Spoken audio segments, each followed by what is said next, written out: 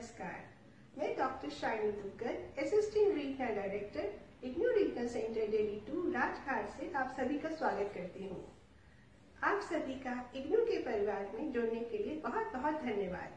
जैसा कि आप जानते ही हैं, न केवल भारतवर्ष अभी तो पूरा विश्व अभी कोरोना संकट से जूझ रहा है। ऐसी कठिन परिस्थिति में आपकी पढ़ाई निर्विघ्न चलती रहे, इस विषय में इग्नू बहुत प्रयास कर रहा है। ये वीडियो भी उस दिशा में एक हमारा योगदान है। आज मैं आपसे री रजिस्ट्रेशन के विषय में बात करूँगी। री रजिस्ट्रेशन यानी कि एक सेमेस्टर से दूसरे सेमेस्टर एक ईयर से दूसरे ईयर में एडमिशन लेने की प्रक्रिया को इग्नू में री रजिस्ट्रेशन कहा जाता है। जैसे कि आप सभी जनवरी 2020 सेशन के छात्र हैं। यानी कि आपका जो एडमिशन हुआ है जनवरी 2020 में हुआ है। में से कई छात्र हैं जो सेमेस्टर बेस्ड प्रोग्राम के छात्र हैं और कई ऐसे छात्र हैं जो ईयर बेस्ड प्रोग्राम के छात्र हैं। सेमेस्टर बेस्ड प्रोग्राम यानी कि MCA, BCA, PGDWGS, MBA, MAWGS आदि प्रोग्राम जो छह छह महीने में जिनका री रजिस्ट्रेशन होगा। और कुछ ईयरली बेस्ड प्रोग्राम है जैसे B M com B T S B S W B S C nursing आदि प्रोग्राम जिनका एडमिशन आपका ईयर बेस्ड होगा, यानी कि अगर आपने 2000 जनवरी में एडमिशन लिया है तो जो आपका नेक्स्ट ईयर में एडमिशन होगा, वो 2021 जनवरी में होगा। और अगर आप सेमेस्टर बेस के छात्र हैं, आपने जनवरी 2020 में एडमिशन लिया है तो आपका जो नेक्स्ट सेमेस्टर की एडमिशन होगी, वो जुलाई 2020 के लिए होगी। इस प्रक्रिया को हम री रजिस्ट्रेशन कहते हैं। और आपके लिए जानना बहुत ज़रूरी है, जो सेमेस्टर बेस्ड प्रोग्राम के छात्र हैं उनको अपनी री रजिस्ट्रेशन यानी कि नेक्स्ट सेमेस्टर में एडमिशन लेने के लिए अभी ही प्रयास करना है। यानी कि सेकेंड वीक ऑफ़ अप्रैल से हमारा री रजिस्ट्रेशन का पोर्टल एक्टिव हो जाएगा, जिसमें आपको लॉग इन करके अपनी री रजिस्ट्रेशन नेक्स्ट सेमेस्टर के लिए करानी है।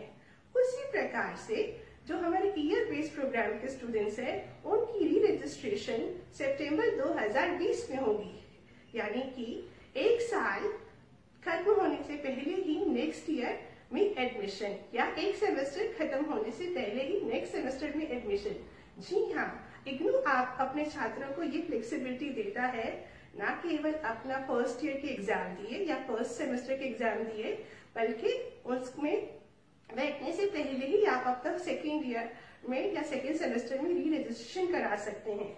इसका एकमात्र एकमात्र उद्देश्य छात्रों को प्रोग्राम को मिनिमम ड्यूरेशन में कंप्लीट करने की सुविधा देने से है।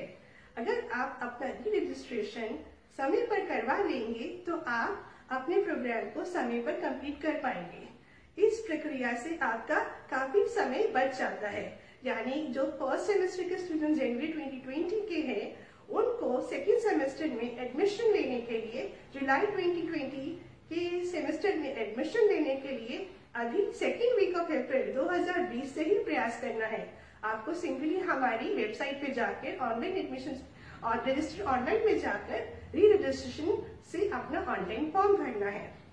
इस विषय में मैं एक और महत्वपूर्ण जानकारी आपसे साझा करना चाहती हूँ, जो कि हमारे सीबीसीएस यानी कि चाइल्ड स्पेस क्रेडिट सिस्टम के स्टूडेंट्स हैं, उनको ये जानना अत्यंत आवश्यक है कि वैसे तो जो हमारे सीबीसीएस बेस्ड प्रोग्राम जैसे कि B A general B com general B S C general या B A honours semester based programme है, लेकिन इनकी री रजिस्ट्रेशन या असाइनमेंट सबमिशन या एग्जामिनेशन फॉर्म सबमिशन ये हमारा एनुअल बेस पे, यानी ईयर बेस पर ही होगा।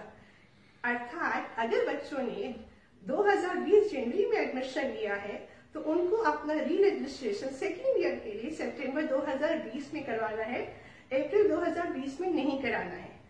इसलिए आपका ये जानना बहुत ज़रूरी है कि इसको सेमेस्टर बेस्ड प्रोग्राम होने के बावजूद भी इन प्रोग्राम्स का जो री रजिस्ट्रेशन है सितंबर में होगा। बाकी सभी सेमेस्टर बेस्ड प्रोग्राम जैसे B C M C M B A PGDWGS MEDWGS आदि प्रोग्राम्स का री रजिस्ट्रेशन की प्रक्रिया अप्रैल के सेकेंड वीक से शुरू हो जाएगी। आप सभी से अनुरोध है कि आप वेबसाइट पर जाकर रजिस्टर ऑनलाइन में जाकर री रजिस्टर का फॉर्म अवश्य भरें। और हर अपडेटेड इंफॉर्मेशन के लिए हमारे इग्नो की, हमारे Delhi regional centre Delhi two की वेबसाइट और फेसबुक पेज पे विज़िट करते रहें ताकि आप इग्नो से जुड़े रहें। आप सभी का बहुत बहुत धन्यवाद।